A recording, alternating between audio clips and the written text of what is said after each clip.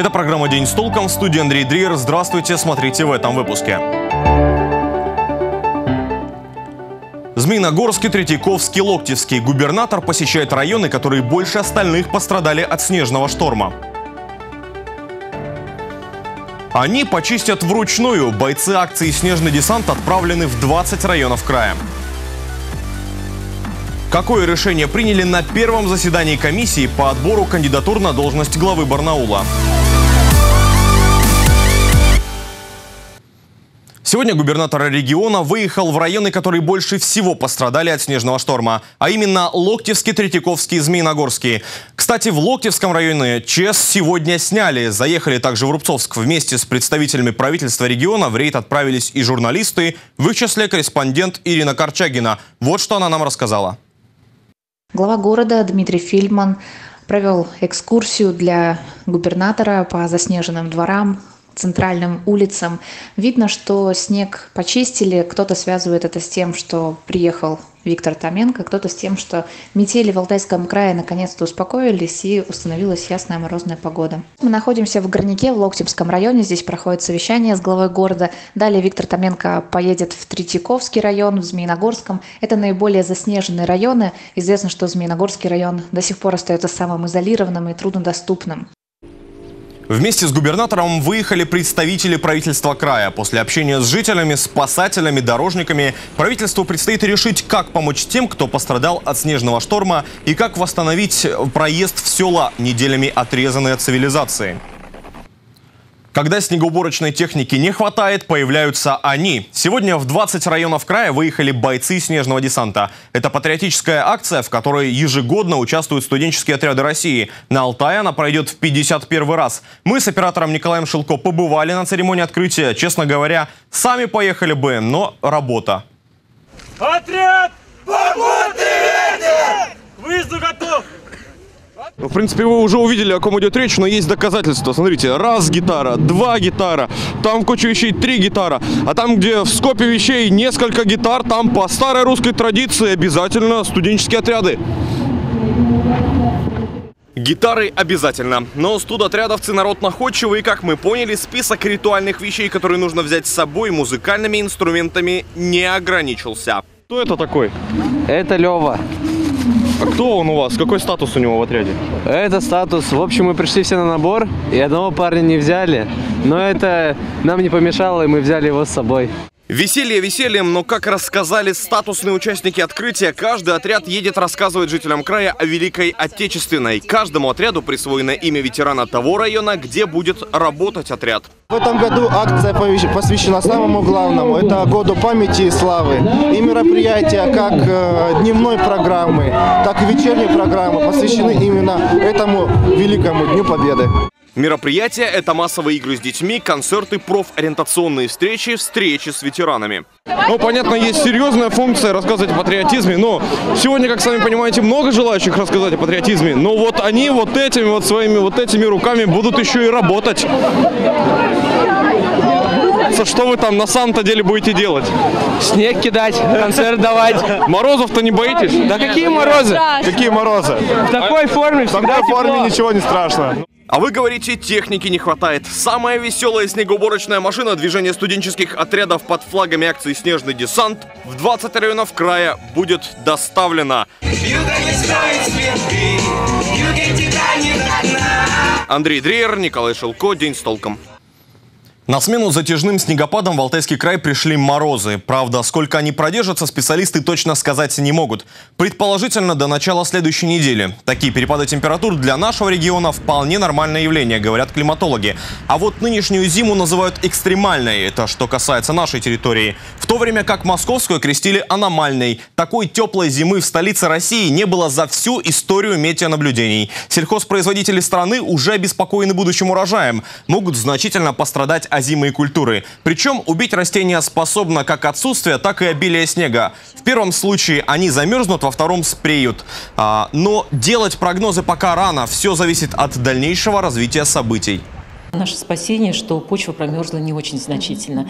И такое количество снега, даже если сейчас будет очень холодный февраль, как вот уже Вильфанд дал вчера вечером, да, они дали на европейскую территорию, у них будет холодный февраль, и уже немножко он сказал и про Сибирь.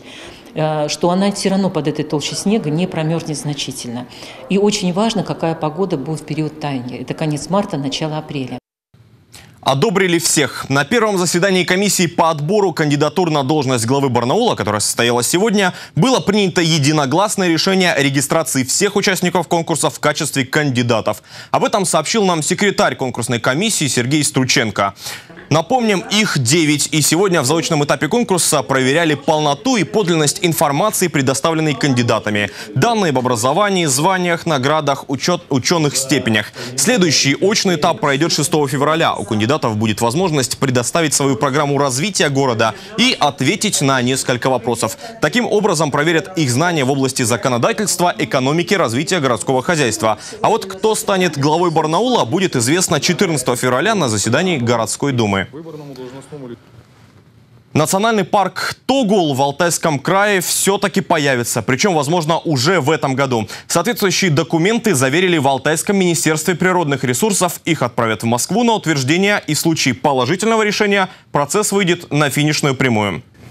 За круглым столом в региональном Минприроды признали, создание нацпарка должны были завершить еще в прошлом году. Но в декабре выяснилось, федеральный центр не одобрил документы. А на местах в Заринском, Тогульском и Ельцовском районах не все спорные вопросы решены. К примеру, на территории нацпарка, а это более 160 тысяч гектаров, должна быть ограничена хозяйственная деятельность. Добыча полезных ископаемых, рубка леса, распашка земли. И весь прошлый год власти совместно с общественниками решали, искали компромиссы, чтобы не ущемлять ущемлять интересы местного населения. Большую часть вопросов на данный момент решили. К примеру, разрешили сбор ягод и размещение пасек. Но все еще актуален вопрос о заготовке дров. Этим в том числе занимается крупное лесозаготавливающее предприятие. Глава Тогульского района объяснил, местное население боится остаться без топлива. У нас не Краснодарский край, у нас не Кубань, и не Сахара, не Равийский полуостров.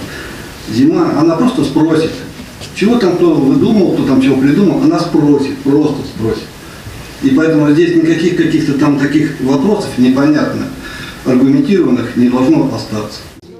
Как заверил эколог Алексей Грибков, сейчас власти и общественники думают, как не лишить населения дров и сохранить лесное хозяйство. Возможно, лесники будут больше заниматься восстановлением леса, чем его рубкой. Напомним, наряду с Тогулом к 2023 году в крае должен появиться еще один нацпарк – Горная Колывань. Он займет даже большую территорию, чем Тогул, свыше 200 тысяч гектаров. Сегодня ювелиры отмечают свой профессиональный праздник. Украшения, созданные руками человека, появились еще в первобытную эпоху и с тех пор только совершенствовались. Наш корреспондент Валентина Аскерова познакомилась с талантливым мастером, чьи ювелирные изделия покоряют своей оригинальностью. И сделали общий, то есть э, коллекцию, так сказать, наших алтайских знаменитостей, э, чтобы люди знали, какие люди у нас э, росли и жили на Алтае. Не только кольца и бриллианты, но и трус балбес бывалый. Многие привыкли, что ювелир создает лишь украшения, оказалось не только. Так Петр Вегнер открыл для себя новое направление. Сегодня он создает памятные сувениры. Ювелирное все это колечки, браслетики, это все есть такие большие заводы, которые все это делают и конкурировать с ними очень сложно. И вот родилась идея, что нужно сделать, а кого делать у нас? Только наш Алтай, чтобы продвигать и просвещать наш Алтай. На создание одной фигурки уходит до четырех суток. Сначала идея рождается в голове, затем идет 3D-моделирование, затем воплощается в воске и только после отливается в бронзе, серебре и золоте. Ювелир Петр Вегнер создает красоту уже около 20 лет. У него собственная мастерская. В профессию пришел случайно. Специально этому не учился, просто требовала душа. Чтобы делать радость она же всегда, когда что-то делаешь интересное, хорошее, и люди приходят, это видят, они радуются. Ну и ты с ним, как ребенок, радуешься с этим человеком, потому что за то, что просто он счастлив. Ювелир – профессия тонкая и кропотливая. Иногда на создание одного изделия уходит около двух лет. Ведь сначала его нужно элементарно увидеть. Бывает иногда что-то вот как-то раз и появилось или просто приснилось. Вот. А в основном все равно это ну, долго. Вам снятся будущие изделия? Да, бывает, конечно. Как? Потому что над ними же работаешь, думаешь. Петр в буквальном смысле живет на работе. За ювелирным станком он проводит большую часть жизни. Вот и сегодня в свой профессиональный праздник будет здесь. Практически дети не видят. Уходишь, спят, просыпаешься. Они уже ушли в школу. Хожу, наверное, лет пять без кольца. Э, просто сломалась уже за столом, потому что всегда что-то делаешь. Э, два кольца уже просто износились. Вот. И кольцо даже не могу себе сделать. Времени на себя практически не остается, но награда – благодарные клиенты. Кстати, не так давно ювелир сделал памятный подарок знаменитому актеру Владимиру Машкову. Это была статуэтка Готсмана, героя сериала «Ликвидация», где актер сыграл главную роль. И теперь у Машкова на рабочем столе красуется свой памятный «Оскар». Валентина Аскерова, Андрей Печоркин. День с толком. Далее прогноз погоды, спонсор его компания «Валара». У меня к этому часу все новости. Смотрите нас также на нашем канале в YouTube, соцсетях, Инстаграме, ВКонтакте и Фейсбуке. До встречи!